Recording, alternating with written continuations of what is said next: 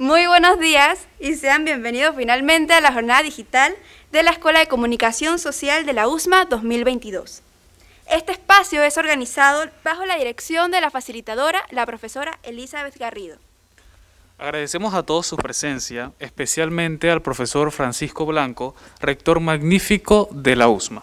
Un saludo especial igualmente a todos aquellos que nos siguen a través del YouTube Live de la USMA Panamá y recuerden que pueden seguirnos en nuestras redes sociales y también seguir la conversación a través del hashtag Digital USMA 2022. En esta jornada digital 2022 se busca promover una auténtica y responsable libertad de expresión a través de los medios digitales, así como el uso apropiado de las nuevas tecnologías con sentido crítico y humanista.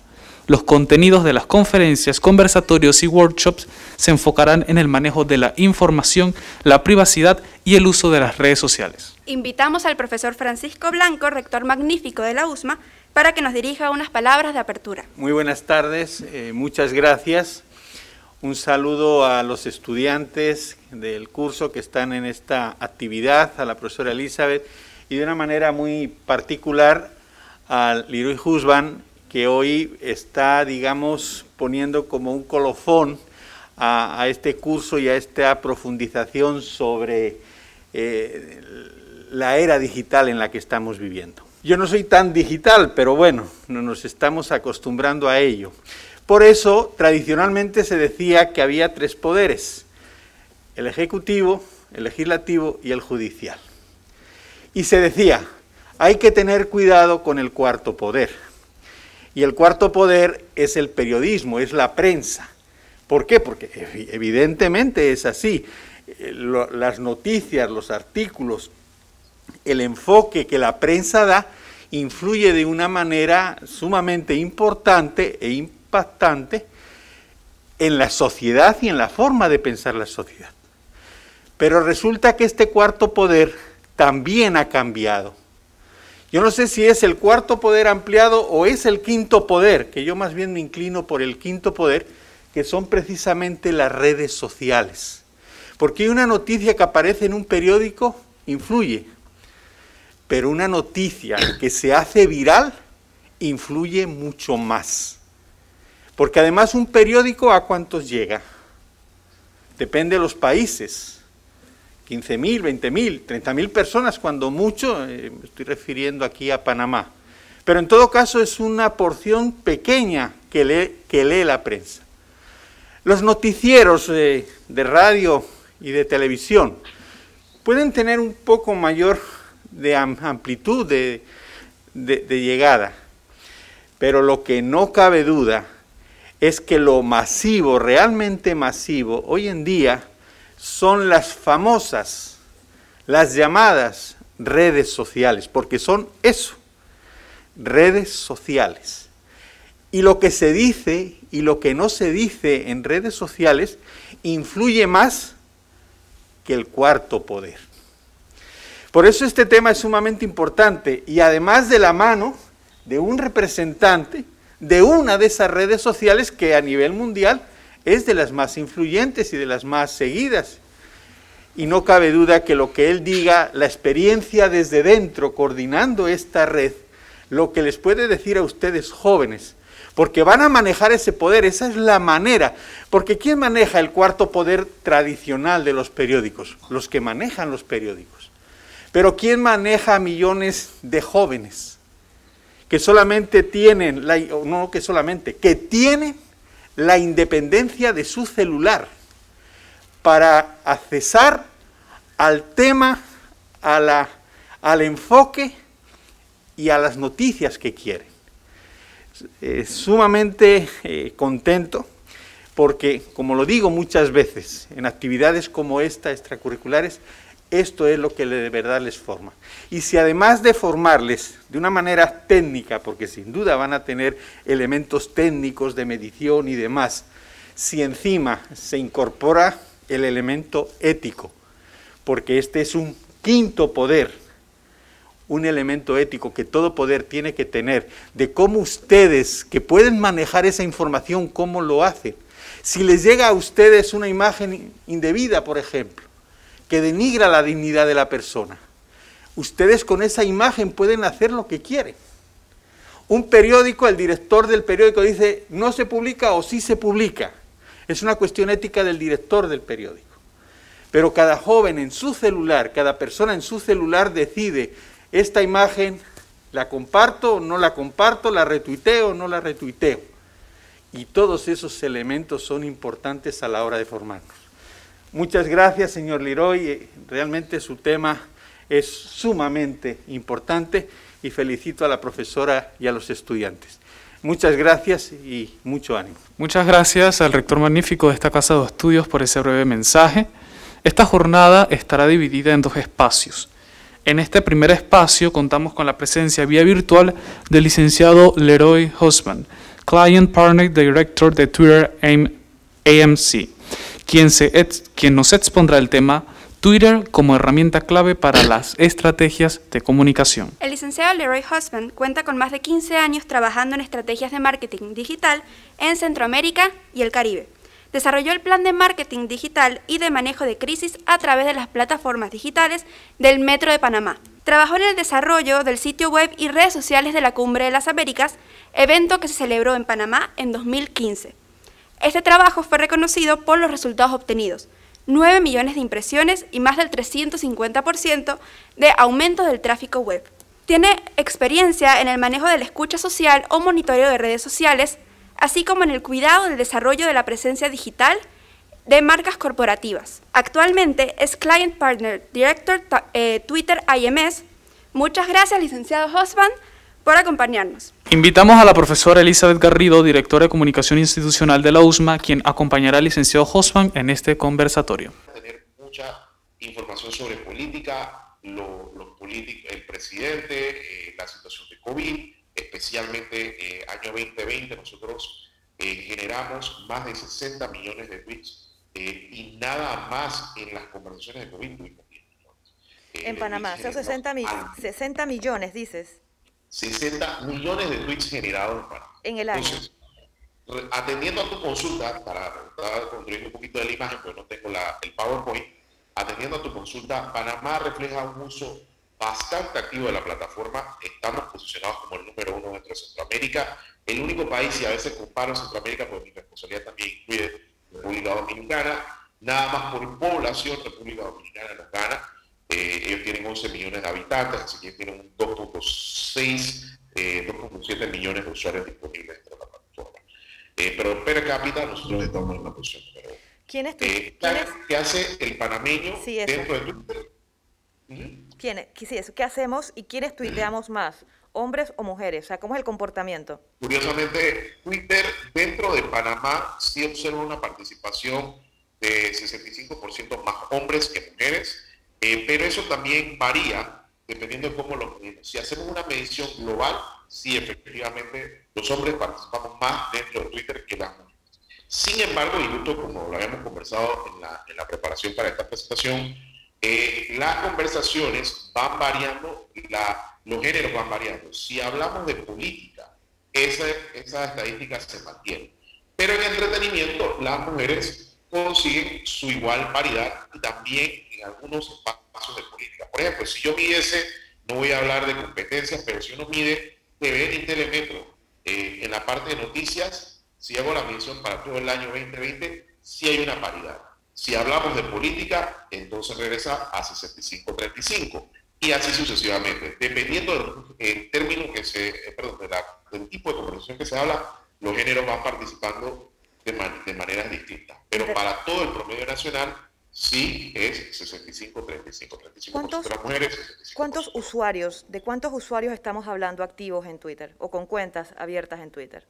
Ok, hay una diferencia muy, gracias por la pregunta y muy buena pregunta. Y esto le va a servir a todos los comunicadores. Las plataformas se miden de dos formas. Uno, la cantidad de personas disponibles, ya ha sido que se hayan inscrito en la plataforma, y hay otra medición que la van a ver muy popular, especialmente para los reportes anuales de la bolsa, es lo que se llama el MAO y el DAO, por las siglas en inglés. El MAO es, la sigla en inglés Monthly Active Users, que son usuarios activos mensualmente, y el DAO es el Daily Active User, la suma de usuarios activos. En promedio, Panamá mantiene un millón de usuarios activos dentro de la plataforma. Ahora, la siguiente pregunta, ¿cuántos usuarios generan ese contenido que vemos dentro de Twitter. En Panamá, para que tengan una idea, esa cantidad de usuarios, eh, ese millón promedio que participa día a día, eh, genera 173 mil tweets al día, lo que nos da 5.2 aproximadamente millones de tweets al mes y este año terminamos en 62, perdón, el año 2021 terminamos en 62.5 millones de tweets. O sea, Entonces, para que tengas una idea, Elizabeth, el 10 al 15% de los usuarios activos en un día normal generan ese volumen de conversación. O sea, de ese millón, ciento, aproximadamente 100 mil panameños están generando ese volumen de conversación. Así que cada vez, eh, al menos que haya un evento, ya sea masivo de entretenimiento o alguna, incluso cuando ocurren, nosotros hemos medido la, normalidad de, por ejemplo, los juegos de la selección, eh, algún tipo de noticia de última hora y también el otro lugar donde es muy popular y incrementa el nivel de conversación, en vez de ser nada más el 10% de la audiencia que está navegando dentro de la plataforma, puede subir hasta 20 o 30, es cuando ocurren los temblores. Eh, ese es uno de los, puntos populares o de, de, mayor participación. Todo lo que tenga que ver con noticias de última hora, y eso denota la importancia de Twitter a diferencia de las plataformas. Ojo, sin quitarle mérito a la otra plataforma, la inmediatez de Twitter hace que el panameño entre a Twitter para participar, confirmar una información o enterarse de un suceso. Eh, y es por eso que uno de, los, eh, uno, de uno de los pilares de la plataforma es que hay un mayor sentido de descubrimiento dentro de Twitter que en muchas otras plataformas para el tema de tendencias, de lo que está ocurriendo. Incluso conozco, y siempre digo en todo este, este tipo de presentaciones, eh, ¿cómo tú confirmas que tembló en Panamá? El primer lugar que tú vas a correr es aquí. De hecho, sí, es cierto. Cuando ocurren estos tranques anormales en la época de diciembre, eh, o ocurre alguna anomalía que genera tráfico, además de Waze, tú también vas a Twitter. Entonces, eso demuestra ese sentido de descubrimiento, búsqueda de información y mantener relevante, eh, mantenerse relevante acuerdo a las eh, todo lo que está lo, lo, que está pasando o las incidencias que tenemos. Precisamente de eso es la siguiente pregunta, Te escucho un poquito de eco ahí. Sí, me escuchas, ¿no? Ahora sí. Ahora sí. Sí. sí. Decías, que solo el 10%, de ese millón de personas, usuarios, son los que generan, contenido, en Twitter. Por lo general en el día a día, pero, a nivel total de promedio, eh, durante el año, esos 62 millones de tweets fueron generados por un total aproximado de 180 mil panameños la, pregunta que viene, es en esta misma línea. Este, este, grupo, de personas son las que influyen en la tendencia de la conversación y a veces pensamos, todo Panamá piensa esto, pero no necesariamente por lo que nos estás planteando. No, no realmente. Es eh, curiosamente, eh, y esto es, por ejemplo, también para los que, bueno, dentro de comunicación social, cuando se dan las clases, se hablan sobre estadísticas y todo este tipo de encuestas, ustedes se dan cuenta que cuando Ipsos o Disher y hacen encuestas, ellos nada más hacen un muestreo de un, porcentaje, por lo general oscila entre 1.200, 200 personas. Ahora, ojo, sí, hay una correlación entre esa muestra dentro de una encuesta al mismo tipo de conversación que ocurre en Twitter. Cuando nosotros medimos, nosotros sacamos, podemos generar el mayor, un pulso o una muestra de qué es lo que está conversando el panameño. Eh, y ahí, eh, una lástima que no les puedo mostrar esta gráfica, pero ahí ustedes se van a dar cuenta también que el panameño no solo habla o genera opinión, sino que también enfoca las conversaciones a diferentes actores dentro de la vida nacional. ¿De qué habla el panameño? El panameño, por ejemplo, habla en un día normal. Eh, mira, curiosamente desde, desde, desde junio del año pasado y algo que, que descubrí ayer justo cuando eh, estábamos preparando este, esta presentación, eh, algo que me llamó mucho la atención debido a la situación, en la medida que nosotros fuimos bajando la conversación de COVID, que era una conversación muy fuerte al inicio del año con la gestión de, de vacunación, el panameño a partir de junio empieza a utilizar la frase quiero trabajo al punto de que encontré más de 100.000 menciones sobre quiero trabajo, quiero trabajar o alguna conjugación de ese tipo de palabras.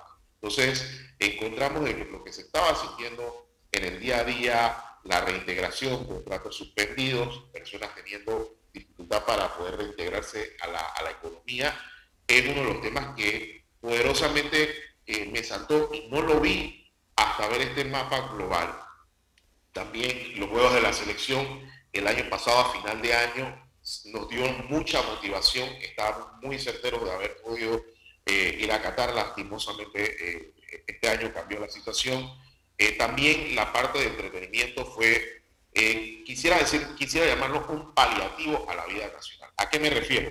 La parte de música, farándula, películas, nos ayudaron a desestresarnos. Por ejemplo, eh, de, los, de las 52 semanas del año, 10 semanas, los viernes tuvieron algún tipo de tendencia eh, correlacionada ya sea con Netflix o con Disney Plus o con eh, Amazon Prime. Entonces esto es muy curioso porque da también pie a lo que nosotros recibimos de Estados Unidos como como nociones del uso de la plataforma a nivel global, que es el factor entretenimiento. Entonces, viendo estas, estadísticas sobre conversaciones los días viernes especialmente, eh, nos, da, nos, da, nos reafirma que eso es uno de los propósitos de la organización de Twitter. No solo es política. Es más, no sé, le pido a todos los comunicadores que me ven, con los futuros comunicadores, Twitter no solo es política. Apenas al, durante el año y durante el día, nada más el 20 al 25% en un día normal son conversaciones sobre la vida nacional o temas políticos. El otro 75% o 80% variando por día, al menos de que ocurra un suceso alrededor de estas figuras políticas, está entre noticias de farándula, deportes, que es muy importante, conversaciones, e incluso hasta un 5 a 10% puede variar dependiendo de la quincena, sobre tráfico. Tráfico es muy importante, especialmente en el horario matutino eh, golpe de 5 de la mañana a 7 y media de la mañana, 8, el tráfico es muy importante dentro de la, conversación de Twitter, las quejas de panameños sobre el tráfico. O sea que es una herramienta útil, es utilidad, utilitaria prácticamente. Muy, muy utilitaria. Eh, bueno, tú estás en el lado de, la comunicación y creo que cualquiera de los próximos estudiantes que ha hecho práctica dentro de algún medio de información sabrá que eh, Twitter es la herramienta de cada día para mantener a, los jefes de reacción informados de qué es lo que está ocurriendo. Además de, digo, ya hay asignaciones eh, eh, para todos los días, pero Twitter también modifica el pulso de lo que los periodistas salen a buscar a la calle. E incluso, eh, les doy una anécdota muy bonita. Todavía pasa, pero no con la, la misma incidencia. Cuando el Metro de Panamá abrió en 2014, nosotros, yo estuve liderando un equipo, pero nosotros que, hacía social listening para o escucha digital, nosotros podíamos determinar, eh, todos los panameños llegamos a, los usuarios del metro llegaron a cuidar a tal punto el metro que eh, los mismos panameños denunciaban cuando alguien utilizaba mal el metro. Todos recordarán el incidente de los jóvenes que estaban necesitando tomar una, una pastilla y había una botella de agua, pero han habido otras incidencias donde las personas ensucian y el usuario se convierte en ese reportero de primera mano para cuidar el, metro. Incluso en las etapas de prueba podíamos detectar si había filtraciones de agua, qué estaciones estaban inundadas o tenían algún tema de manejo de agua. Toda esa información la recopilábamos a través de nada más las conversaciones del día a día. E incluso hay veces que, no sé si, no lo puedo llamar miedo, pero hay, hay ocasiones en donde eh, los usuarios panameños no, mencion, no hacemos una mención directa a las cuentas a veces que hablamos de un Ricardo Martinelli, un Nito Cortizo, eh, de alguna otra figura política, que no necesariamente usamos el arroba Nito Cortizo, el arroba Ricardo Martinelli. Eh, ¿Por qué? A veces eh, miedo a las represalias de los call y por un número de otras razones no lo hacemos. E incluso en el lado comercial, trabajé un tiempo con, con cuentas de las empresas de telecomunicación y había un 20% de la comunicación que no tenía la mención del arroba cable onda, el arroba eh, o el arroba movistar. Simplemente el panameño decía, Movistar no sirve, tengo problemas en las playas con tal operador X y Z. Entonces, eh, como tú lo mencionaste, es una, herramienta utilitaria no solo para medir eh, la emoción del panameño, sino que también incluso las empresas lo utilizan para poder medir la gestión de servicio, entender cómo nosotros por ejemplo, en estas últimas semanas hay una, tendencia silenciosa hablando de servicios. Document Aero ha tenido un incremento de quejas por la falta de aire acondicionado. Eh, por ejemplo, sin poder revelar, eh, esta información pública, si no, no a un cliente, pero imagínense, el 2020 vio un salto que no le ha bajado a empresas como Copa. Copa recibía apenas 70 mil menciones en todo el año. Desde el 2020 ellos no han bajado de menos de 100 mil menciones estos dos años con el tema de COVID. Y probablemente habiendo encontrado la facilidad de emitir algún tipo de comunicación y que Copa le dé seguimiento, dudo mucho que los usuarios dejen de utilizar eh, Twitter para esa gestión de atención al cliente. Eso, eso yo creo que va a ser una, una norma que no va a dejar, eh, no va a dejar de, ser. Eh, e incluso una de las razones de que muchas empresas utilizan Twitter realmente ni siquiera es para hacer mercadeo, es para hacer atención al cliente. Gracias, Leroy. Voy a abrir brevemente, porque ya se nos ha ido el tiempo contigo. Siempre es interesante escuchar cómo va Twitter. Voy a abrir brevemente el periodo de preguntas y respuestas.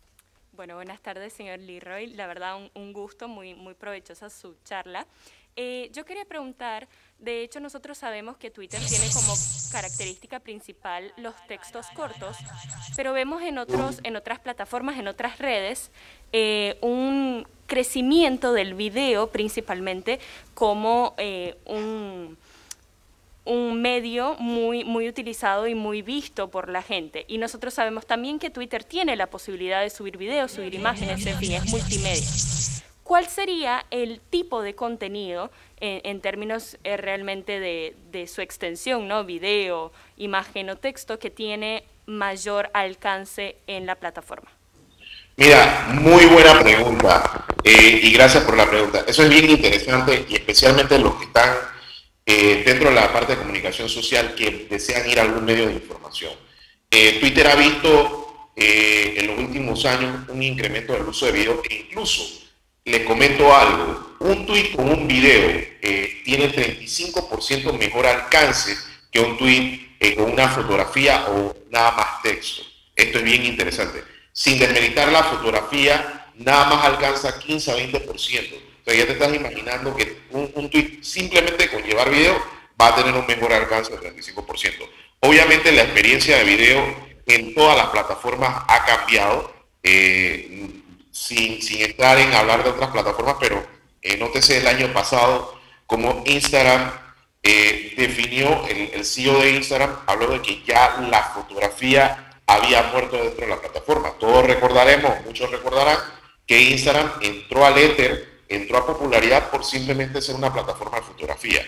Ahora todas las plataformas, llámese a causa del efecto TikTok, han tenido que reafirmar su presencia eh, a través del video. El video creo que es un narrador que no, eh, e incluso ahora que estamos viendo los temas de los conflictos en Ucrania, porque hemos tenido empatía con Ucrania, a diferencia. Hay 25 otros conflictos armados en el planeta en este momento. Pero ¿por qué Ucrania está en nuestro consciente? ¿Por qué hemos demostrado una, una eh, empatía descomunal dentro del espacio de Ucrania, a diferencia de los otros 25 conflictos que ocurren en el mundo? Gracias al video. Porque estamos viendo las denuncias, estamos viendo a las víctimas, estamos viendo a las familias siendo separadas, los hombres quedándose dentro del país porque no pueden salir, eh, destruyendo a las esposas, a los hijos. Toda esa información genera a través de video. ¿ok? Y se ha convertido en el elemento importante dentro de las plataformas. E incluso el video inmediato, que haciendo un complemento a eso, eh, la inmediatez del video, lo corto del video también es relevante. La noticia esté bien, el video esté bien editado para que, es una expresión muy psicologial, la carne del video esté en los primeros 15 segundos y para que no podamos aburrir al usuario.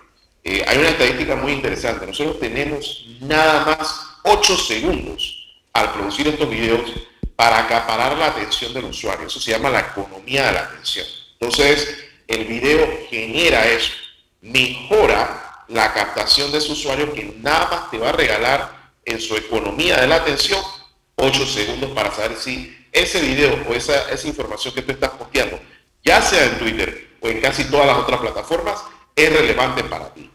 Ya se nos está acabando el tiempo, solo nos quedan cinco minutos, eh, porque empezamos un poquito tarde. No sé si hay una pregunta más.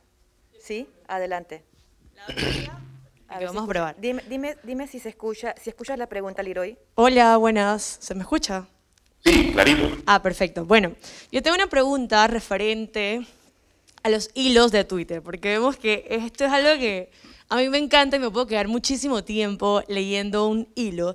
Y quería saber cómo lo ve la plataforma, o sea, cómo ustedes lo pueden analizar de esa persona que se queda tanto tiempo leyendo y en qué secciones más o menos va, porque pueden haber hilos de temas tan ambiguos que no sé cómo lo lee Twitter, cómo se dan cuenta de lo que está pasando, cuánto tiempo pasa leyendo una persona simplemente un hilo y me gustaría verlo, cómo ustedes lo ven como plataforma, esa tendencia que ahora está, pues, de los hilos.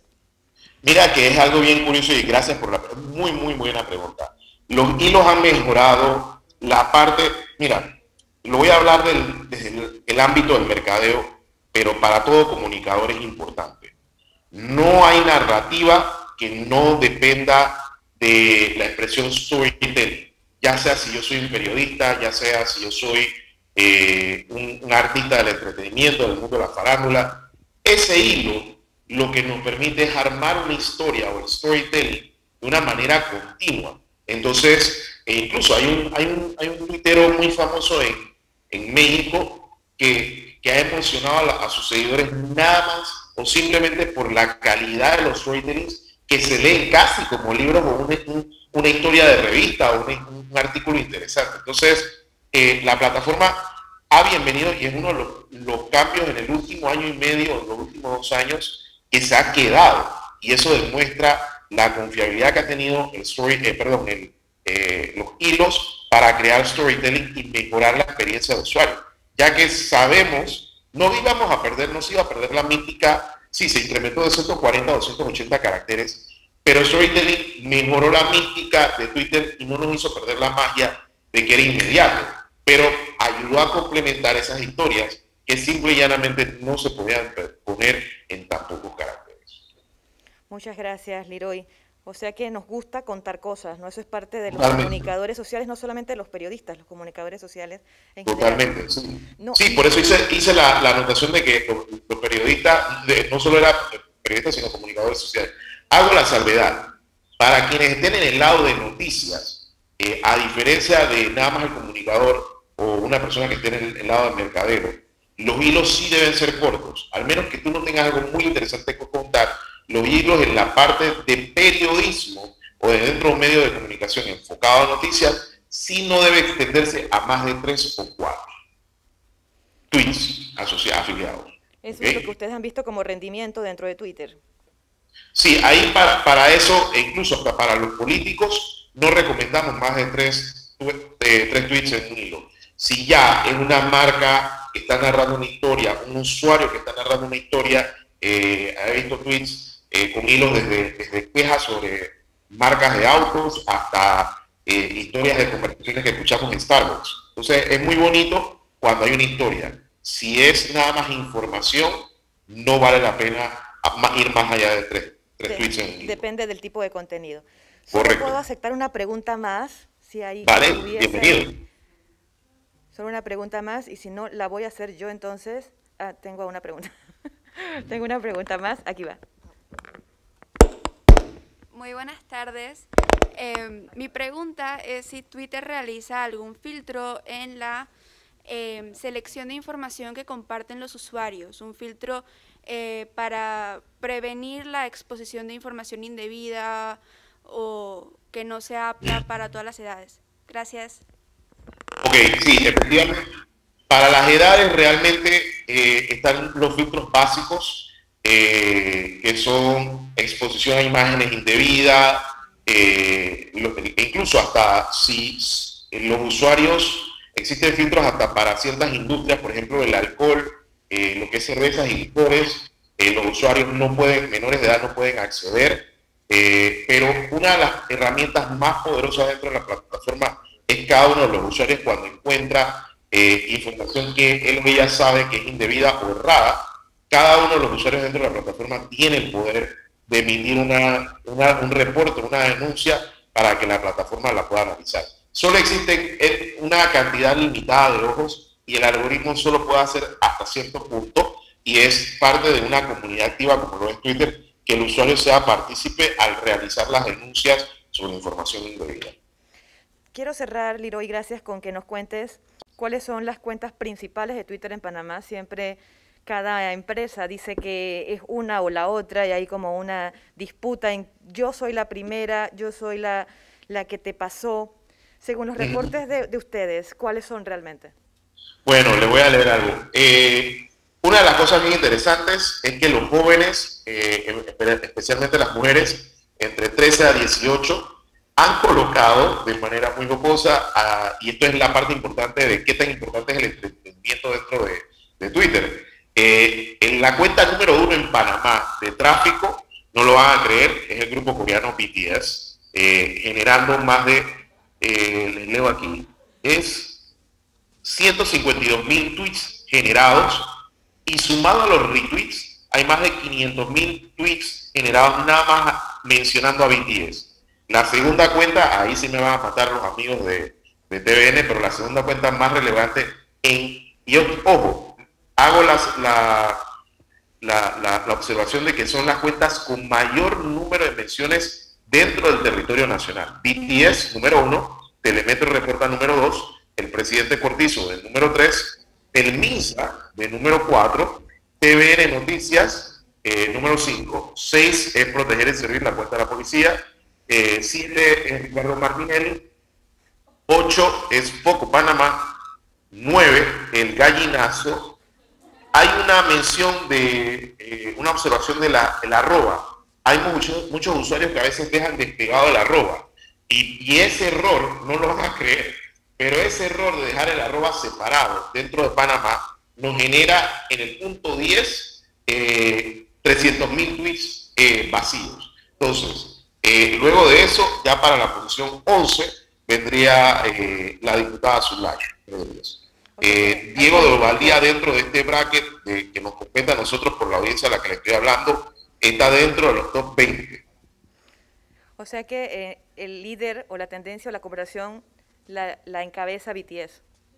Sí, curiosamente BTS y los usuarios de entre, entre 13 a 17 que en ese, en ese espacio y hablando haciendo un, cerrando el círculo, lo que conversamos al inicio de la, división demográfica y de género, eh, BTS maneja una audiencia de casi 90% mujeres, 10% hombres en el espacio de 13 a 18. La música K-pop está entonces tomando territorio nacional. Correcto. Y nada más para cerrar. Eh, quiero quitar un mito. Sí. Todo el mundo piensa que Twitter es una herramienta que ha madurado y que los usuarios son todos mayores de 35. Para que tengan una idea, dentro de Panamá, 45 a 46% de los usuarios que competen en lo que hablamos al inicio, que era en los daily active users o los usuarios activos, eh, tienen menos de 24 años.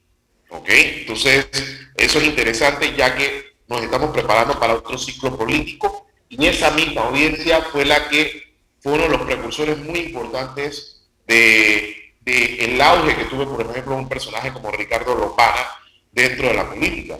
Eh, mucha de la participación se concentró dentro de Twitter y la vimos en donde no solo ese porcentaje pasó de 45, brincó temporalmente a 50% estable durante un mes, un mes y medio antes del ciclo electoral de 2019 viendo esa tendencia, no quiero tener una, no, no tengo bola mágica, pero creemos que vamos a ver ese tipo de retorno e incluso con acciones como no a la reelección, corremos la, la oportunidad de ver un incremento más allá de la línea del borde del 50%, y pudiese rayar al 60%.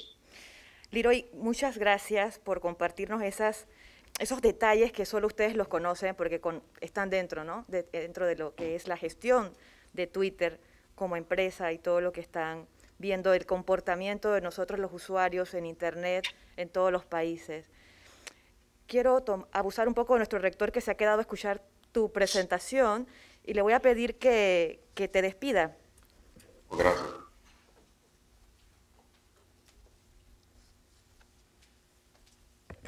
Bueno, más que despedirle, yo le diría que vuelva. Ah, bueno porque creo que ha sido tan interesante para mí, que soy invitado, pero yo me imagino que muchísimo más para los estudiantes que han estado participando. Y además ha sido eh, una participación que mezcla algo que es bien interesante. Lo curioso, que a una persona que pudiera no estar, entre comillas, interesado, le ha mantenido en vilo siguiendo la conversación, curioso por un lado, pero por otra parte ha ido dando tips que no cabe duda que para los profesionales de la comunicación social son o van a ser muy interesantes. Así que la despedida es un gran agradecimiento por esta participación y bueno, no despedirle, que sea un hasta luego. Va, pues buenas tardes. Siempre agradecido por la invitación.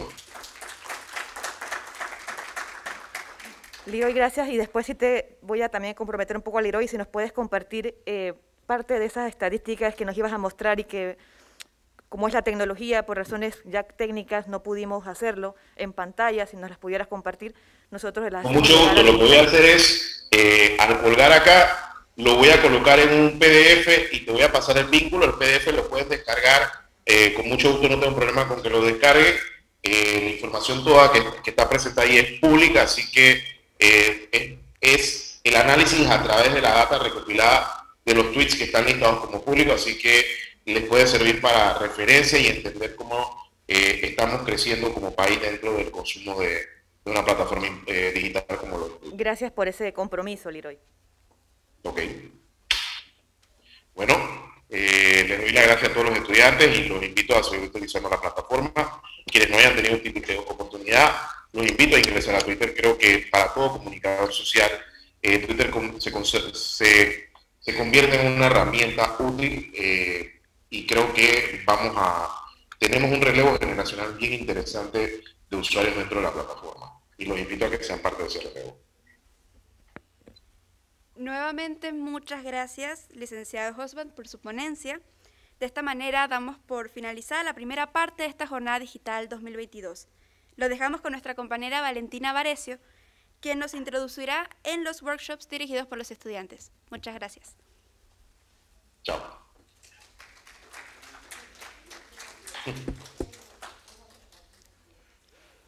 Muy buenas tardes, compañeros, profesores, invitados. Yo soy Valentina Varecio y bueno, es un gusto, un placer realmente compartir este evento con ustedes. Espero que ustedes estén aprovechando esta charla eh, y este evento, este día tan especial como yo lo estoy o lo estuve hasta el momento.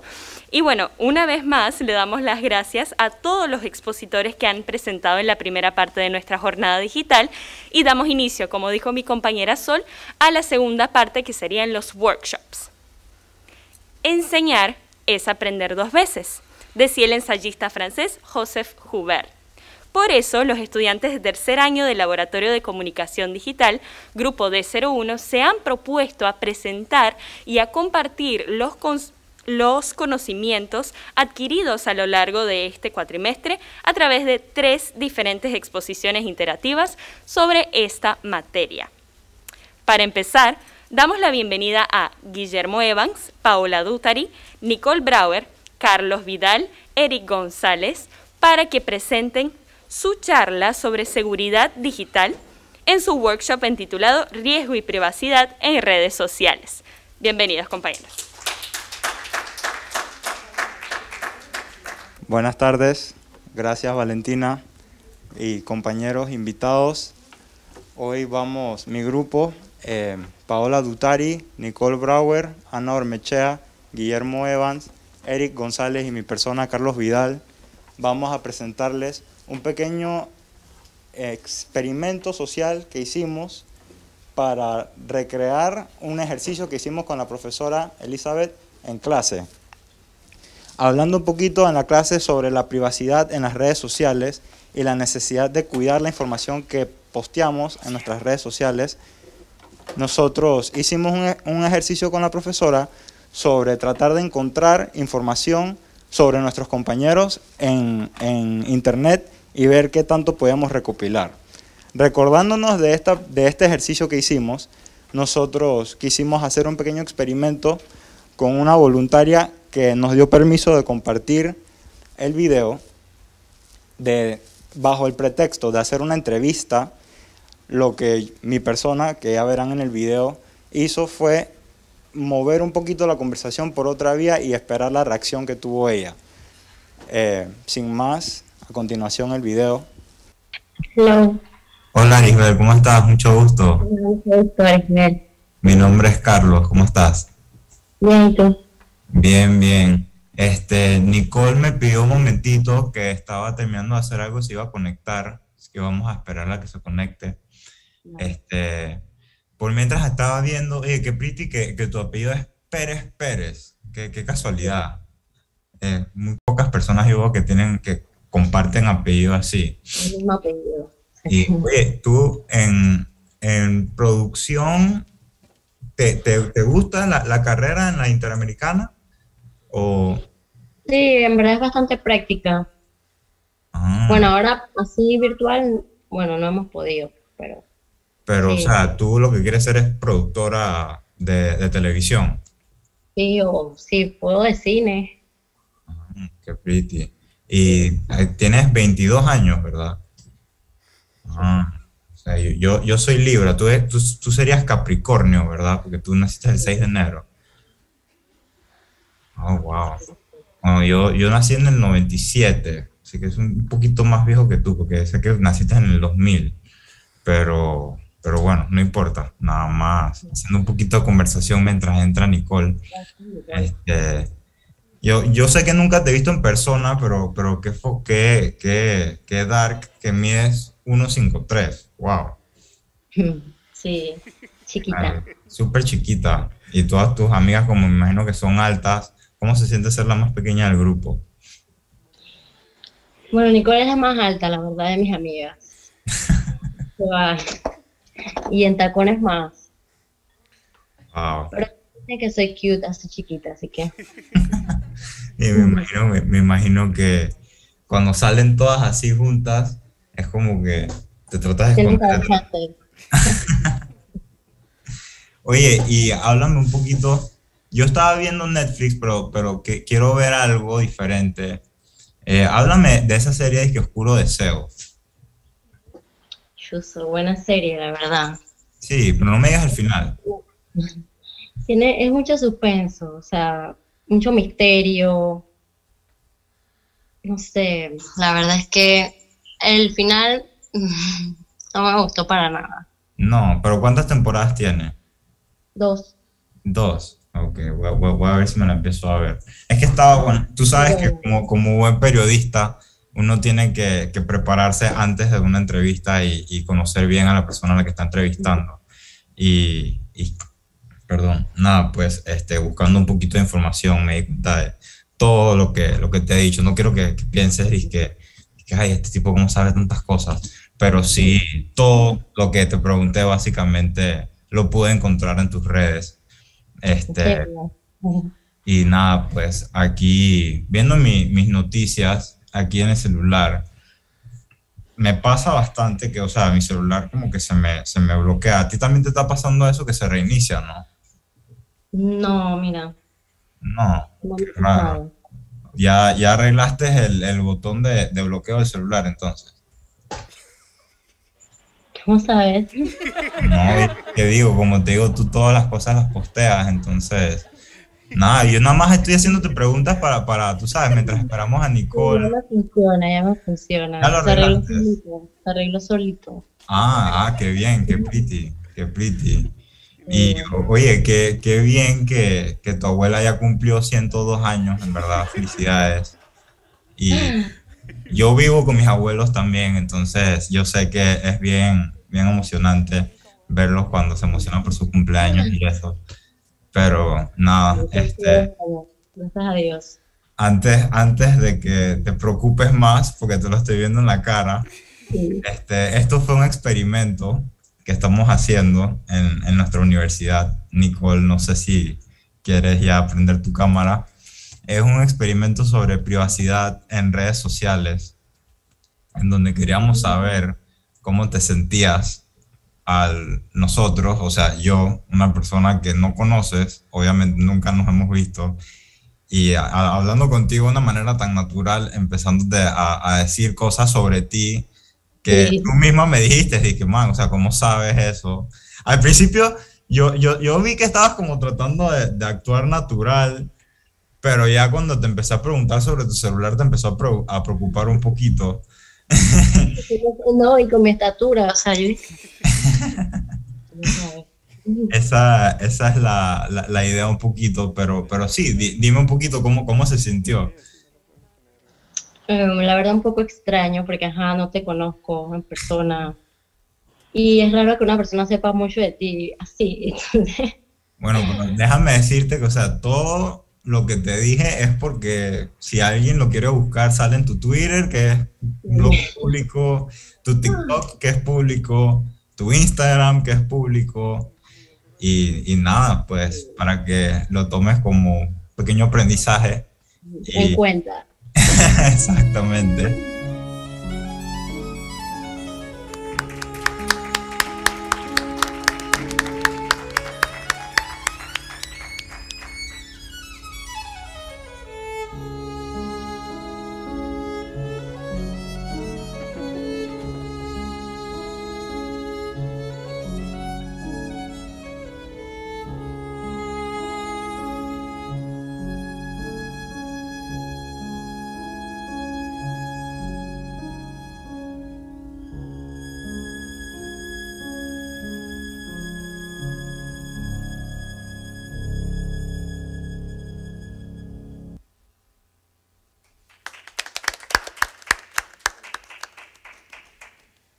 Bueno, como podrán ver, saqué un poquitito mi psicópata interior y fue...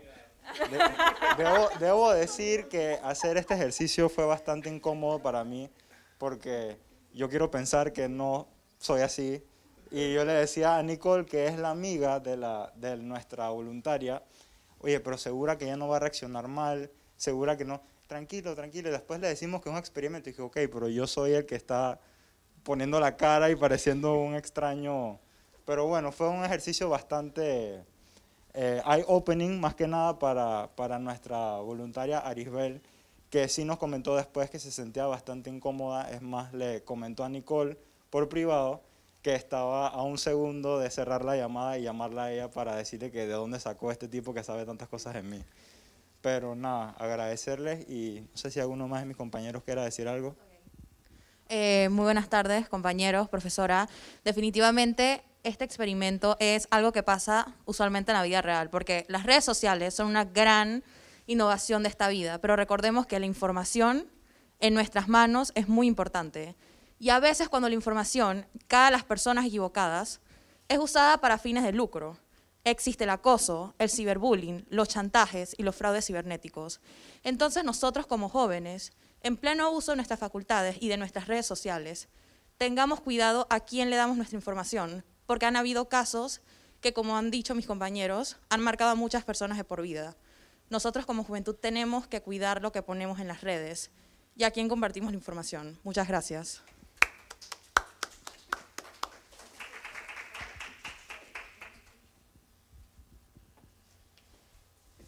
Y bueno, para entrar en ambiente con mis compañeros, yo me voy a acercar y le voy a hacer preguntas. ¿No se escucha? a ver, a ver, yo no me sé muy bien los nombres. me encanta, las voluntarias. Un fuerte aplauso a la voluntaria.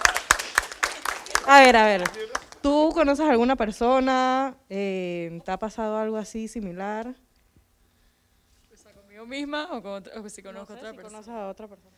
Em, yo pienso que sí, o sea, em, creo que a todos nos ha pasado que no conocemos a alguien en persona, pero decimos que lo conocemos por Instagram o lo conocemos por otra red social, que o sea, nunca nos hemos visto en persona, pero ya sabemos quién es su novio, quién, con quién es su mejor amiga, dónde ha ido, dónde está, qué edad tiene, qué escuela estudió, qué amigos tienes en común. Entonces yo siento que ahorita eh, en el mundo de las redes sociales es bastante fácil poder hacerte este estudio de la persona súper facilito y a veces es bueno y a veces es malo porque siento que puedes crearte expectativas malas o buenas de la persona sin conocerla.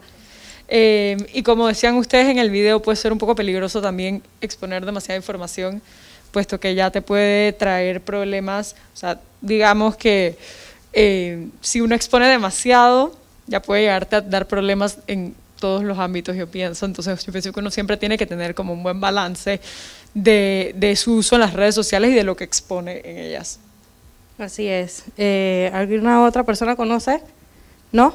Sí, un ejemplo. A ver. Eh, y es algo tan sencillo como tener el, el, Instagram abierto, que creo que muchos lo hacemos cuando tenemos proyectos personales o tal vez queremos que nuestra cuenta sea un poco más pública.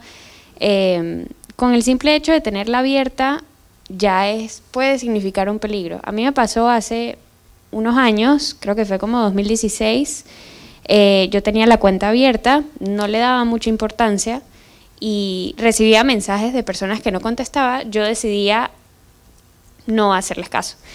Pero me llegó el mensaje de una persona que me decía, hola Sofi, ¿cómo estás? Eh, tú y yo nos conocemos, eh, yo te vi el otro día en Altabar.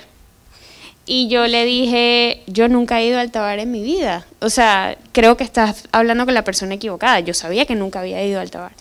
Me dijo, no, no, eh, yo te conocí, yo te conocí. Y yo le digo, no, no, no, de verdad que no. Y me dice, tú eres Sofía Rangel, tú eres venezolana, estudias en el colegio tal. Y yo le digo, no te conozco. Y antes de bloquearlo, porque lo bloqueé, me mandó una foto del anuario de mi colegio donde salía yo. Y me decía, yo sí te conozco. Y nada, al final lo bloqueé, nunca supe más de él, gracias a Dios, no pasó nada, pero puede ser algo muy sencillo como tenerlo público y, y, uno nunca sabe, pues, o sea, hay que tener cuidado, obviamente, con toda la información que, que ya nos parece muy normal porque también está el otro lado de la, de la moneda que para humanizar una marca o humanizar nuestro propio, no sé, blog o lo que sea, ya está muy de moda como que hacer todo lo cotidiano y dar información y mostrar de nuestro día a día y nuestra vida, eh, pero puede ser peligroso. Entonces hay que mediarlo. Eh, y bueno, ya para concluir, yo quiero saber si alguien conoce qué es la tecnofilia, ¿no? Bueno, y ya con eso concluyo porque el tiempo se nos acorta. La tecnofilia, hola, hola. La tecnofilia es una persona con las redes sociales siempre. O sea, es una, un, una persona, eh, o sea, no, no con las redes sociales siempre, sino que es como aficionada, o sea, no para de ver las redes sociales. Entonces, estas personas dicen que lo mu dar mucho a veces es malo. Entonces, también es considerada, estas personas que buscan, que investigan la vida de otras personas, es considerada como tecnofilólogo. o sea, que eres una viajena. Pero sí, entonces, más que todo, eh, concluyo, y no sé si otro de mis compañeros quiere hablar, de que sepamos que vamos a publicar. No tengamos las redes sociales a veces muy públicas. Y si vamos a tener públicas, que sean cosas que sean buenos mensajes o un, emprendimiento que tengamos, pero cosas de nosotros a veces tenemos que bajarle un poco. Eh, Francisco. Buenísimo su tema y cómo lo presentaron. Sí quería hacer un comentario con lo que está mencionando, que hace un, unos, unos días, eh, eso como a las 2 de la madrugada que no tenía sueño, me puse a pensar. Y, y, caí en cuenta de que muchas veces, eh, porque estaba viendo eso y es que, ay, si subo esto y toda la cosa, muchas veces pensamos que al no estar activos tanto en redes sociales o no subir tantas cosas, estamos haciendo mal. O sea, hemos normalizado el hecho de subir cada cosa que hacemos, que dice, oye, pero yo no he subido nada, ¿y por qué yo no he subido nada? ¿Y, y por qué yo no comparto esto? Y al final es, es ese peligro que estábamos mencionando, que no hay que subir todo, porque, y por ahí está en mi Twitter ese comentario que lo tuiteé, así que... así, eh, así, que es, es, es, muy valioso lo que, lo que están diciendo, sí.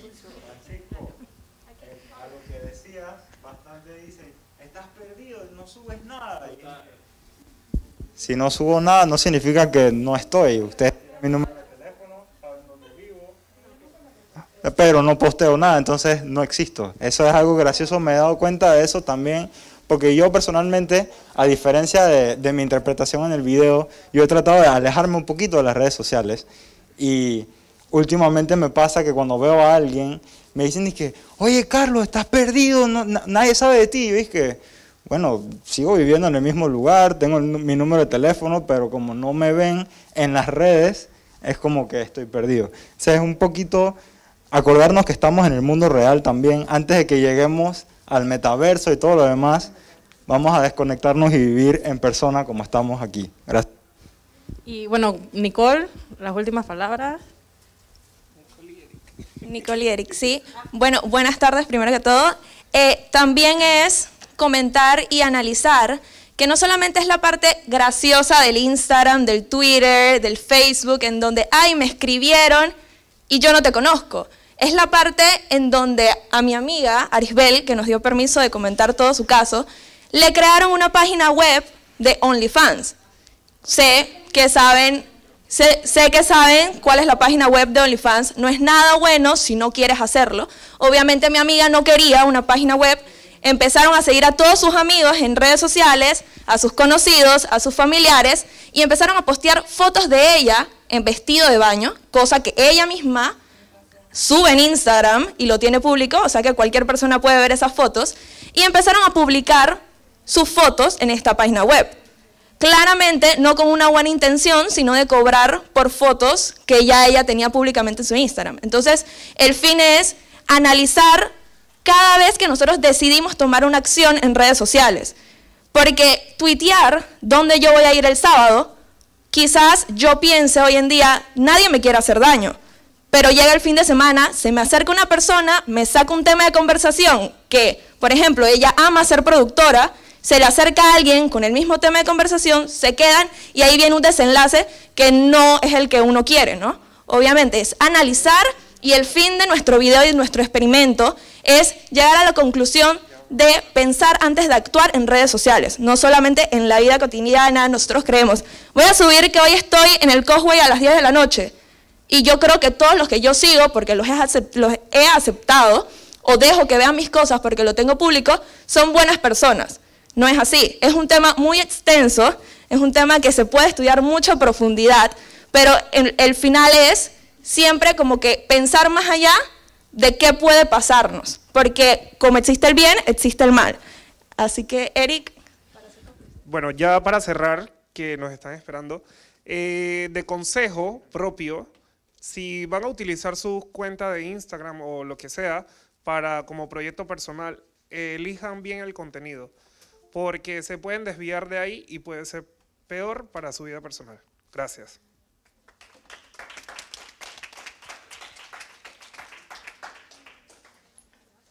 Ni sobrecargos de trabajo. Además, definir el alcance de tu proyecto va a depender de cuántas personas participen en el proyecto. Debe alinearse con los principales participantes del proyecto y asegurarse de que todos estén en sintonía. Ahora, si estás trabajando en un lanzamiento de marketing de un producto, por ejemplo, asegúrate de estar alineado con los participantes de los equipos más relevantes de tu empresa y con los equipos de productos, diseños y contenidos. Si bien es cierto, dependiendo de la complejidad de tu proyecto, también puede ser importante definir un proceso de control de cambios. La parte estética Conservar un estilo estético en Instagram es bastante trabajo para una red social diseñada para proclamar sus buenos ratos. Y esto podría ser verdad. Sin embargo, las cosas cambian una vez que te dediques a la construcción de contenido. Para mantener un feed estéticamente agradable, inspírate. Incluso si tienes una idea bastante clara de quién quieres ser en tus redes y de lo que te gusta, puede ser difícil encontrar tu propio estilo es aquí donde recomendamos que visites los perfiles que más te gusten y anotes lo que más te llame la atención de cada uno. No se trata de copiarse de otro feed, sino de identificar qué lo hace especial y qué partes de ellos puedes aplicar en tus publicaciones. Utiliza aplicaciones. Existen muchas aplicaciones que te pueden ayudar a lograr la estética que quieres, desde apps de fotografía hasta softwares de diseño la verdad que las opciones abundan a la hora de crear publicaciones geniales para Instagram. Usualmente se trata de combinar las apps que mejor te funcionen para lograr tu estilo único. Recuerda que muy pocas veces verás fotografías sin editar. No se trata de eliminar defectos y distorsionar la foto, sino de ajustar sus colores, tonos e iluminación para que sigan tu propio estilo. Mantener variedad. Mantener tu feed variado es un ejercicio de creatividad. Tu perfil puede estar siempre activo y original, con publicaciones variadas y diseños muy divertidos.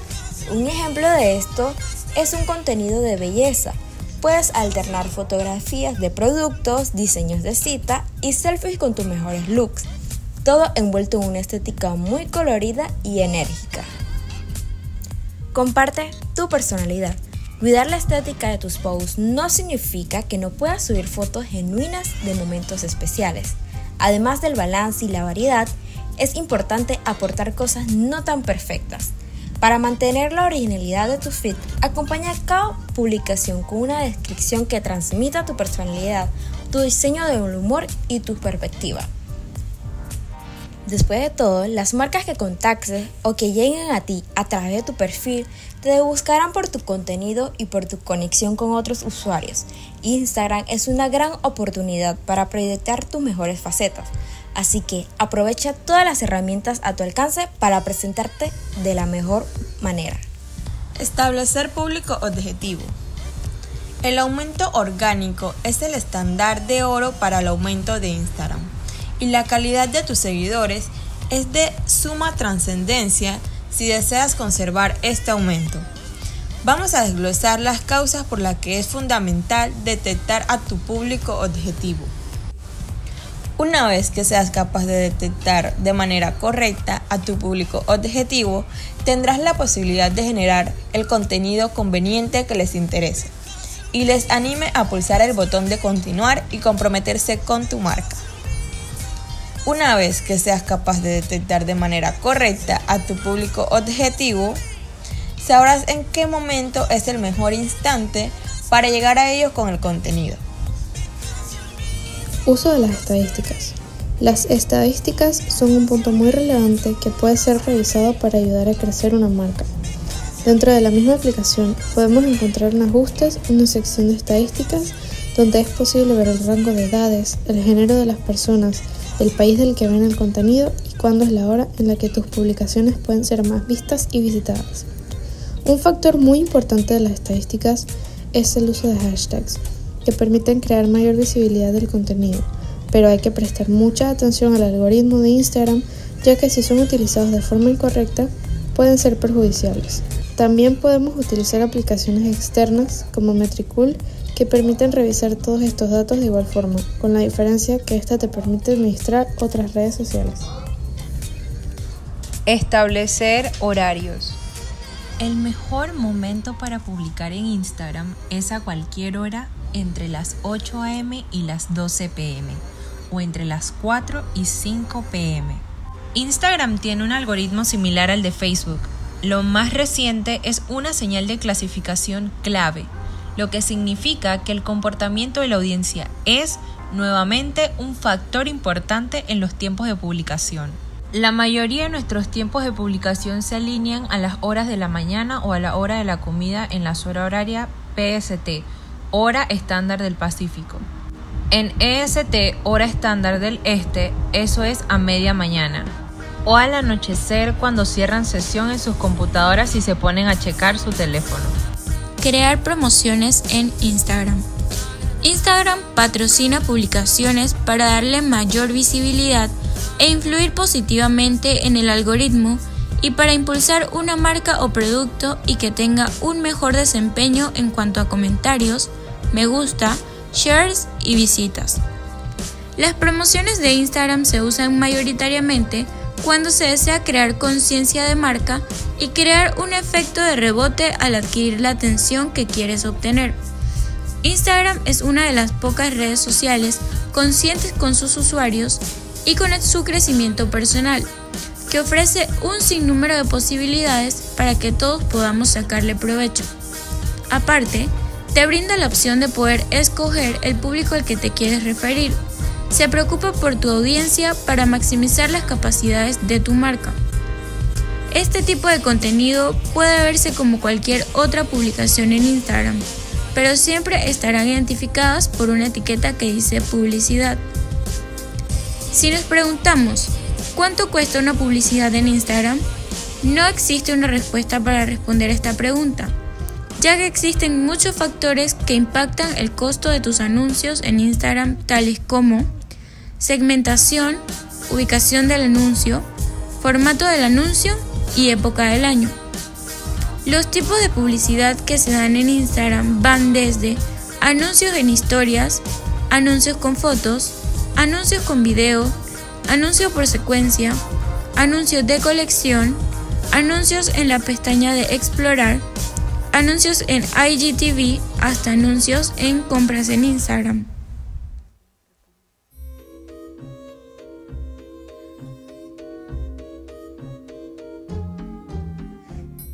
¿De qué depende el alcance de nuestro proyecto?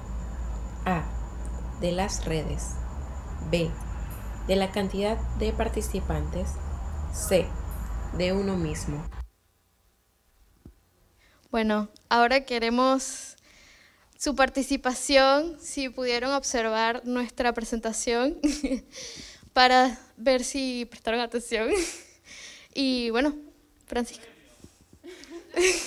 Ojalá, ojalá. No sé, ¿quién puede responder?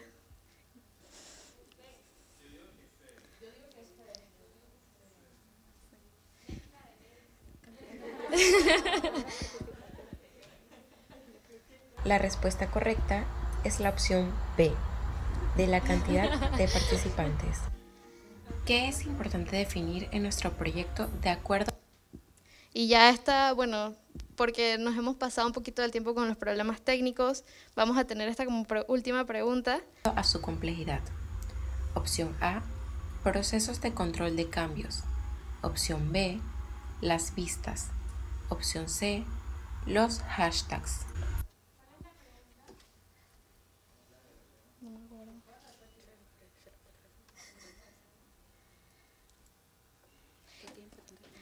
Porque es importante definir en nuestro proyecto de acuerdo. Opción B. ¿Qué es importante definir en nuestro proyecto de acuerdo a. con su complejidad, disculpen.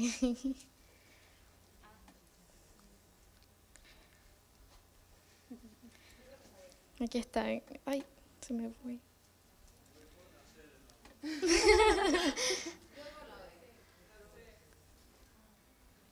Opción A Proceso de control de cambios.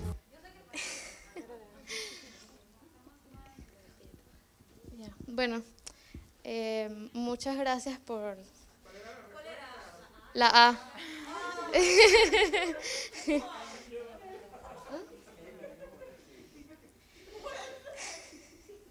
bueno, muchas gracias por dejarnos eh, presentar. Eh, queríamos saber si tienen alguna pregunta. Claro. Claro, eso depende mucho del contenido que tú quieras publicar, ¿no? Eh, pero sí, como desde los cinco hashtags en adelante son como los eh, la media que tú puedes colocar.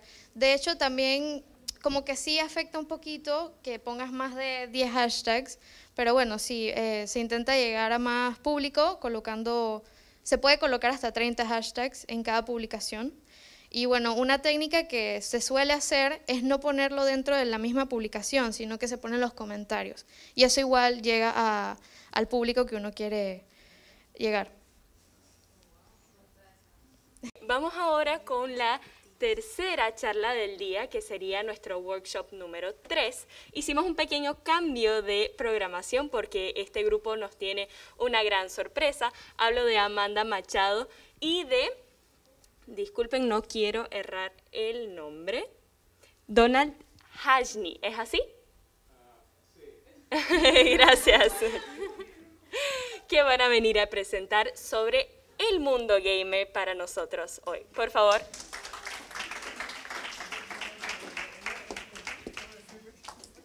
Plataformas, pero tenemos los streamers como otro medio eh, para perseguir esta carrera, que es eh, básicamente eh, grabarse en vivo. Y así consigues una audiencia y ahí pues te, te donan o te puedes hacer una publicidad ahí mismo. Seguimos. Ok, entonces ahora sí vamos a ir un poquito a hablar sobre qué es un gamer. La palabra gamer es una palabra en- del inglés y es adoptado por varias lenguas, por diversas lenguas, y habla sobre una persona que tiene una pasión por el mundo de los videojuegos. Eh, la palabra gamer se refiere a una persona que, am, pues sí, que este, se toma tan en serio los videojuegos que puede llegar a transformar este, esta pasión en su profesión. Esta carrera le puede llegar a generar ingresos y esto ya sea haciendo, eh, probando videojuegos, partidas y hasta incluso yendo a torneos internacionales a competir contra otros gamers profesionales. Entonces, vamos a diferenciar entre un gamer y un aficionado. Bueno, desde eh, ambos, los dos juegan, pero en diferentes condiciones. El gamer, este, desde el punto de vista laboral, suele jugar para generar un ingreso, mientras que el aficionado simplemente lo hace por diversión. Entonces, partiendo de que los gamers am, juegan específicamente para generar algún tipo de ingreso o dinero, eh, cualquier, nos hacemos la pregunta, que si cualquier persona realmente puede ser un gamer, y bueno, la respuesta obviamente es no completamente. Eh, eh, ser gamer conlleva un conjunto de prácticas extensas que aparte de diferenciarlo de otros gamers, lo vuelve más ágil en, pues, el en, cualquier, en cualquier videojuego que esté jugando. Entonces, ahora hablemos un poco de las características de un gamer. Primero, gana dinero de forma recurrente, obviamente jugando videojuegos. Eh, es invitado o acude a eventos y a ferias en donde compite contra otros gamers profesionales. Estas son las características de gamers, profesionales. Eh, hace videos y comparte sus experiencias en plataformas como YouTube o Twitch. Hola. Si yo le dijera a mis padres que eh, existe un- una profesión donde te la pasas jugando videojuegos y ganas plata de esta manera, ellos probablemente me botarían de la casa. Pero eh, sí lo existe y es hermoso. Yo les digo, en tu cara. Eh, bueno, sí. Eh, un- una de las cosas que eh, todo gamer tiene igual. Es que muchas de... Es una gran... ah, se, se dedican bastante a- al gaming, necesitan mucho tiempo, especialmente los youtubers, porque ah, los youtubers in- independientes, eh, algunos tienen editores, pero algunos no, y cuando tienes una emergencia, eh, necesitas un- no solo tiempo para jugar o para ha- hacer este contenido, pero necesitas editar y eso toma, oh Dios mío, cuando, cuando yo empecé, eh, yo, eh, se, se me iban las horas, Eh, necesitas ah, hacerte un calendario y un horario también para cuando vas a jugar, si no se te van a ir las horas y tienes que empezar a editar videos de 8 o 10 horas porque juegas bastante y necesitas hacer un con- contenido, pro- un, un buen contenido.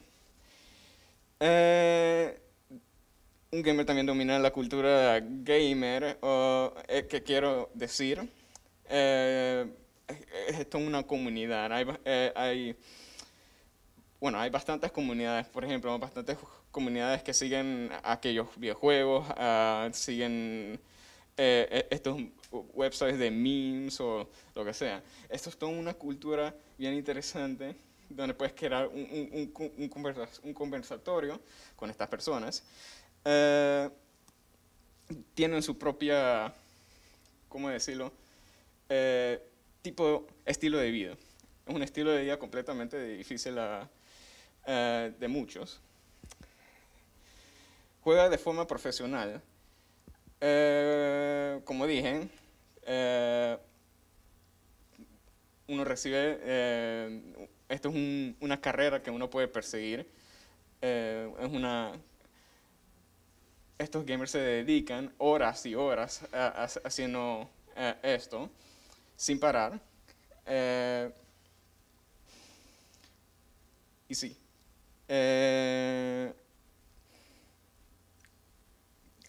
Gamers, ok, en esta parte no estoy muy seguro. Les voy a explicar, porque para cada empresario uno tiene que seguir innovando y es, es un riesgo. Eh, es un riesgo eh, porque muchas, mu- muchos youtubers y ahorita más, eh, después eh, les cuento de algún- algunos youtubers que han caído, pero es un riesgo porque como funciona, por ejemplo, YouTube, es un algoritmo y a, a veces si te desvías de tu estilo de, de gaming, o sea, si persigues a otros títulos o haces diferente contenido, eh, digamos que el algoritmo no, eh, no reacciona muy bien y las recomendaciones a las personas no, no les llegan tanto si so- solo persigues a un título. Eh, pero sí. Ok, am, entonces ahora podemos hablar sobre las características del público gamer en general, ya sean gamers aficionados o gamers profesionales. Normalmente eh, son personas de 11 años, aproximadamente entre 11 años y 44 años, eh, y juegan en diferentes tipos de dispositivos como celulares, computadoras eh, y hasta incluso consolas. Y esto incluye a todas las personas de todos los géneros.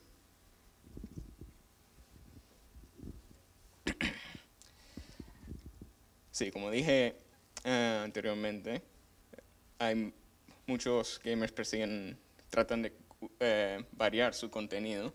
Eh, estos tipos de, existen personas que se dedican al MMO, que, eh, eh, que, que- es una, un- una palabra en inglés, Massive Multiplayer Online Role, Role Playing, o sea, son videojuegos de, ¿cómo se dice role playing en español? Roleplaying, ustedes saben. Ok, roleplaying. Eh, le voy a describir. Eh, imagínense que se metan a, un- a una película, pues actúas como el protagonista, estás en un mundo y a- a- te, te haces en el papel del protagonista. Eso es esencialmente lo que es un, MMORPG. A mí personal me encantan los MMORPGs porque me gusta sentir eh, más grande de lo que yo soy. Eh, sí, también están los competidores, los esports, aquellos hardcore gamers eh, que muchas veces pueden ser tóxicos. Ay, pasó? Vaya, estamos teniendo problemas. Ok. Am, bueno, cu- continúo. sí, continúo, continúo. Ah, ah, sí. Eh, los esports gamers, eh, estas personas que, que hacen competencias, eh, son super hardcore. eh, mucha- muchos de nosotros gamers, yo, soy, yo me considero casual, a, veces me meto a los competidores, pero yo lo encuentro muy sweaty, sweaty en el, en el sentido que se, lo toman, se lo toman demasiado en serio y a, veces uno quiere hacer, ah, relax. Es bien, eh, es- estas- estos tipos de grupos son bien competitivos. Eh, sí. Siguiente.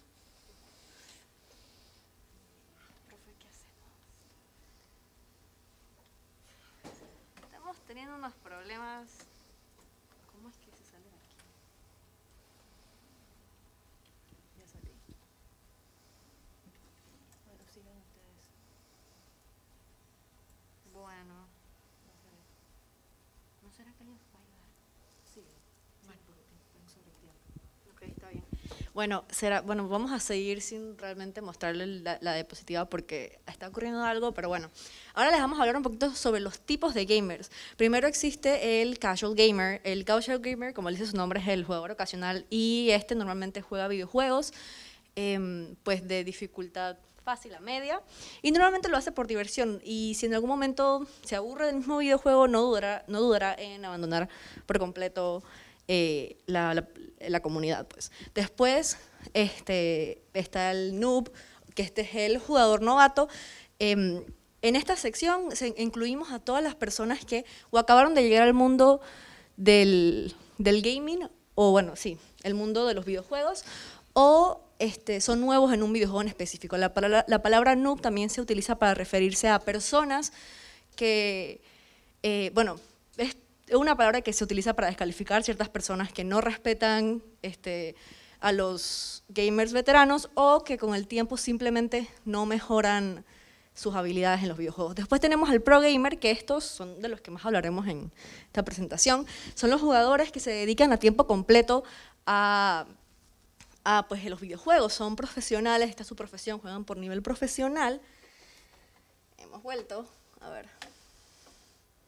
Uy. Ok, ahora sí, em, este, se dedican a nivel profesional, son invitados a ferias y eventos donde compiten contra otros profesionales y unos ganan tanto dinero que pueden dedicarse por muchas y muchas, muchas horas a jugar videojuegos.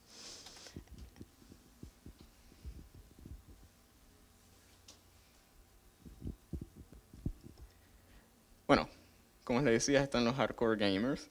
Eh, estos son los gamers que se dedican mucho esfuerzo a, estos videojuegos. Típicamente son eh, jugadores super competidores. Eh, le, gusta ganar. Los core gamers son... Son... Son como, son como casual, pero es como un, nivel más de casual. está como en el medio de hardcore y casual. Están en el medio. Eh, se dedican a... Ellos cambian de videojuegos, pero eh, ellos también le gustan ser competidores en estos videojuegos. Yo creo que también soy un poquito de core gamer personalmente. Yo todavía no me descubro. Ok, ah, entonces ahora conozcamos un poco de los eh, gamers más famosos actualmente.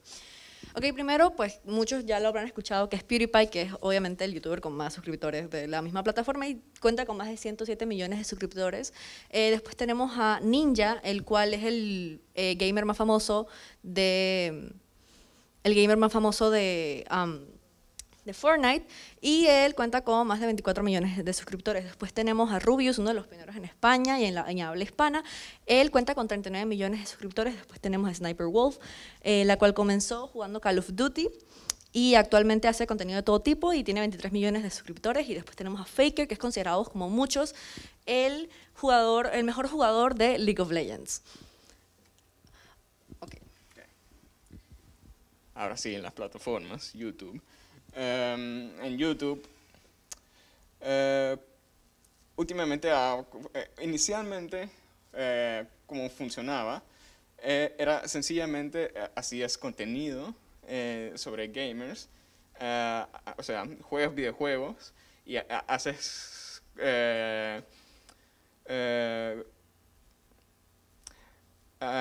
haces, ¿cómo decirlo?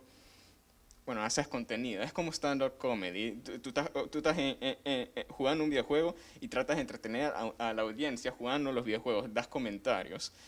Eh, pero uh, ahora hay diferentes features similar para competir con Twitch.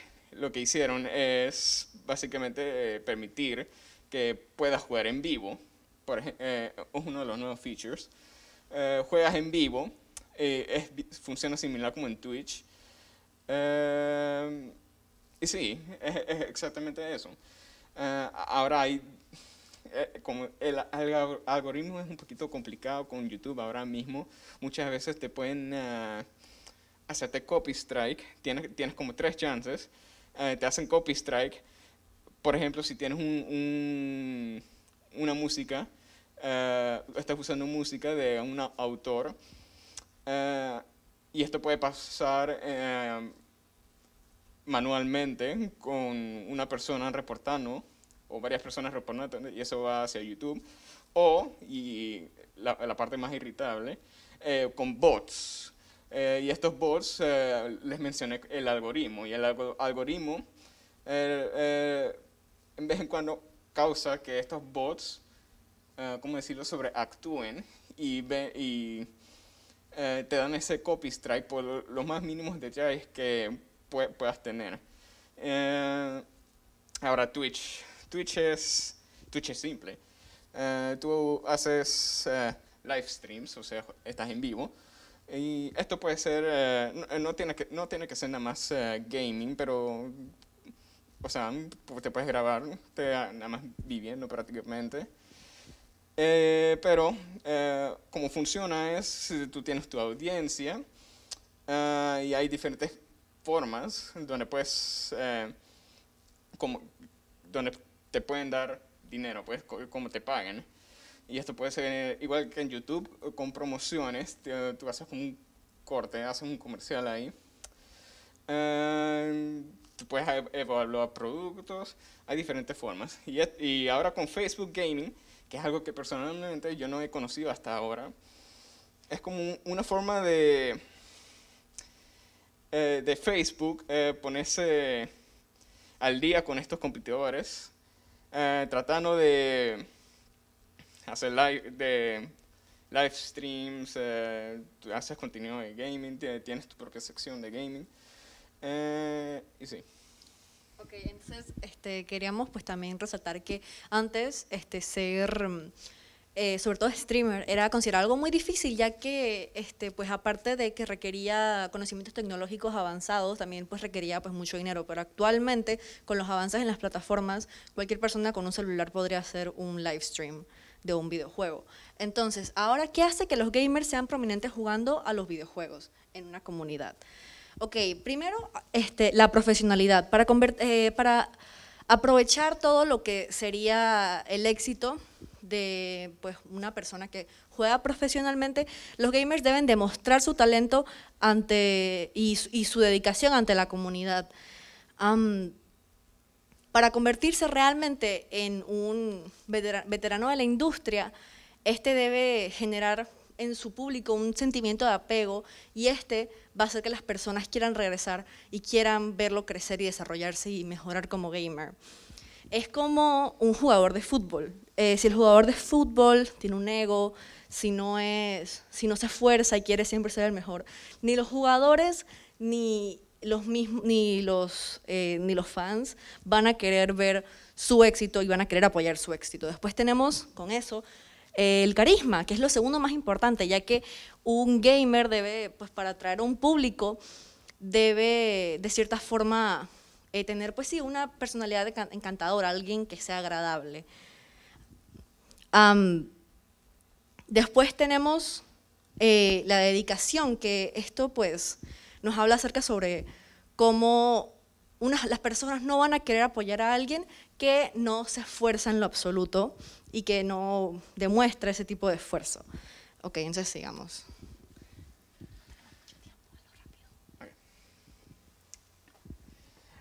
Ok, ahora les vamos a presentar eh, mi tema personalmente favorito, eh, los gamers que han, que han caído de gracia. Y esto pueden ser por muchas razones. O sea, eh, cómo uno, una persona evalúa a otro. El, puede ser por, porque aquel eh, youtuber puede ser un cretino, eh, tiene un exceso de confianza y se hace, eh, se cree el mejor de todos, pues. es tóxico y, y despreciable, pues como una persona, pues.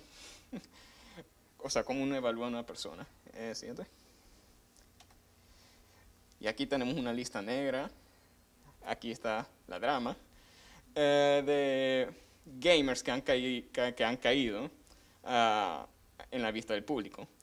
Uno, los primeros de estos fue Leafy, Leafy Sear. Eh, no sé si ustedes recuerdan, él solía ser un, un contenedor de gaming. Eh, pero recientemente, creo que fue en 2020, él él fue acusado por mucho... Eh, él, eh, él, él, es una persona muy tóxica. Él fue acusado por varias veces eh, acusando y molestando a otras personas, siendo un verdadero mala onda. también tenemos a Maximilian Moss, acusado por ser el peor gamer de YouTube.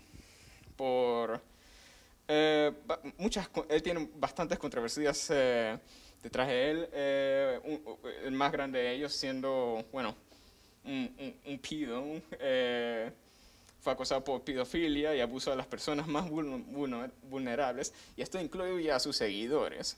Eh, pero a pesar de esto, sigue eh, creando contenido hoy en día, extrañamente, a pesar de, de muchas demandas de que YouTube para que lo votaran. Eh, pero sus contenidos eh, sí han bajado de popularidad. Eh, y bien, está después Low Tier Gore, conocido por los gamers por su habilidad de echarle la culpa a los otros. Un llorón, pues un mal perdido, perdedor. Ok, entonces... ¿Qué pasó? No lo sé. Ok. Ok, um, ahora vamos, este, tenemos una invitada que es Michelle. Ella es um, egresada de la USMA y es una Twitch streamer, así que la invito a que venga a hablarnos un poco acerca de lo que ella hace. eh, y sí. Hola chicos, eh, mi nombre es Michelle, tengo 24 años, gradué de comunicación de la USMA en el 2018. Una señora ya, no mentira. Eh, bueno chicos, más que nada les quiero eh, contar acerca de mi experiencia, acerca de esto de todos los videojuegos. Yo comencé cuando tenía 15 años, eh, yo más que nada fue por mi hermano que jugaba Call of Duty, a mí me encantaba Call of Duty y empecé a jugar con él pues. Entonces resulta que Michelle de la nada se metió al, tiempo, al mundo competitivo de los videojuegos y la profesora, igual, ella lo sabe porque cuando yo estaba aquí en la, en la universidad me la pasaba haciendo cosas de videojuegos. Eh, comencé a competir en Call of Duty. Yo estaba en un equipo de mujeres y todo esto. Y ustedes, como saben, las mujeres en el, en el mundo de los videojuegos es bastante difícil porque las personas. Ay, se apagó, lo apagué. ¿Y ahora qué hago? Hazlo, policía. A ver, a ver, a ver. No importa, a ver. Hola. Ahora sí. Perdón, es que lo apagué. Discúlpenme. Y bueno, más que nada, pues es bastante difícil. Yo tenía 15 años cuando comencé a competir y siempre los hombres se van a poner a hablar mal de ti, que si tu cuerpo, que si estás gorda, que si eres una peladita no sé qué, y siempre se ponen a hablar estupideces.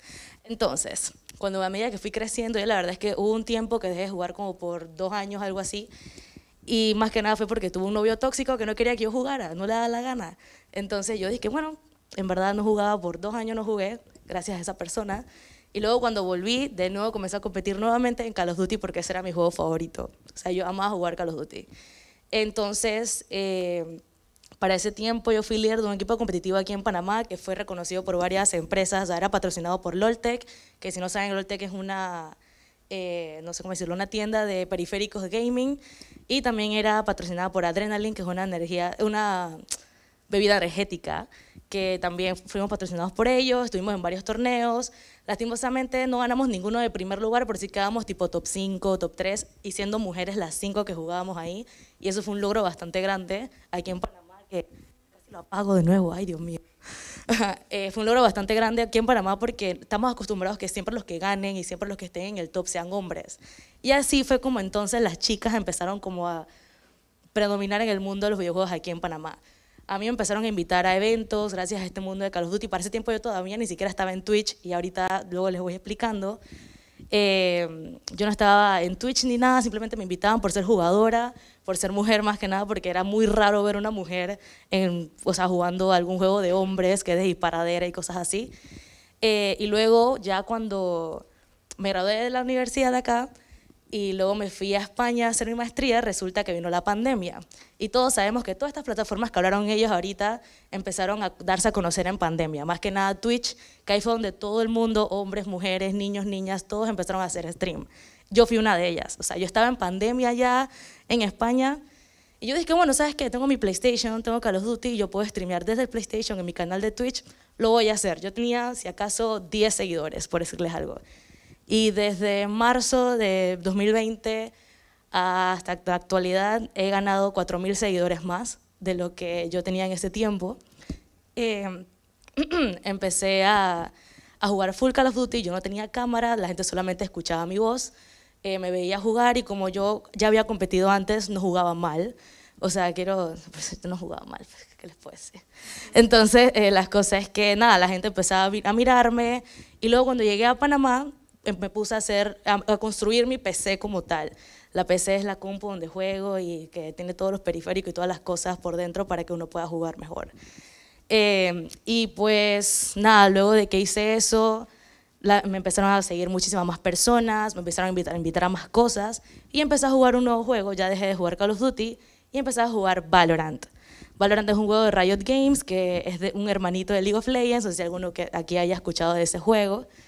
Y, y, pues nada, o sea, empecé a jugar Valorant, era malísima porque yo nunca había jugado en teclado y mouse, yo siempre jugaba en control de PlayStation.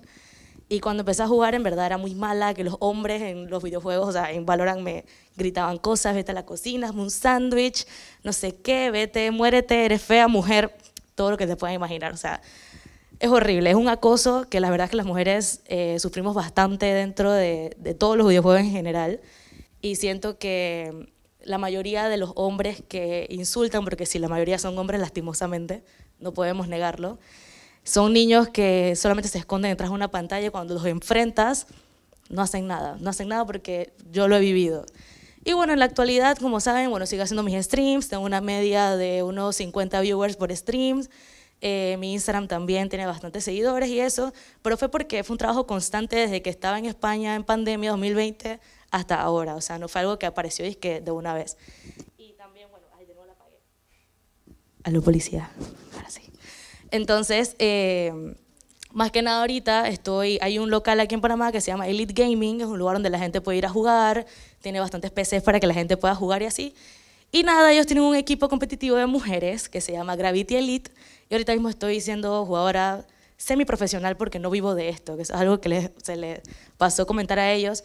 Un jugador profesional es una persona que vive de los videojuegos, una persona que le pagan, que lo patrocinan, que vive completamente de los videojuegos. Y una persona semiprofesional es una persona como yo, que soy jugadora, me pagan a veces, pero igual tengo mi trabajo y me mantengo de otra cosa, no solamente de los videojuegos. Entonces soy jugadora semiprofesional de Valorant, del equipo de Gravity Elite, de Elite Gaming, y pues nada, o sea, hasta el momento todo me ha ido bastante bien como gamer, me ha gustado bastante, pero sí ha sido un trabajo bastante difícil desde que comencé hasta ahora y también de tener que aguantar los comentarios de acoso, más que nada de hombres. Perdón chicos, pero es que los hombres son los que, los que más hablan acerca de las mujeres y los que peor tratan a las mujeres en los videojuegos. Y nada, o sea, al final eh, les quedó muy bonita la presentación chicos. La verdad es que estaba, estaba leyendo estaba viendo las cosas que pusieron, fueron bastante, bastante atinadas. Y solamente que siento que les hizo falta ahí como dos plataformas más de streaming, pero tranquilo, no pasa nada. Yo a la profesora que les ponga nada, no se preocupen.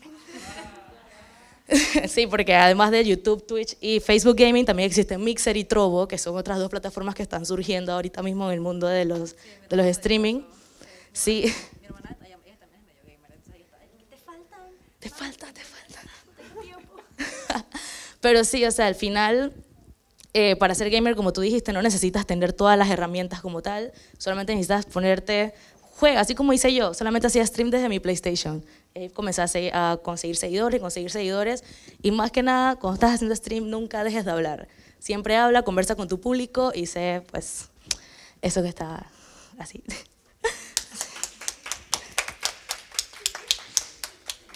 Bueno.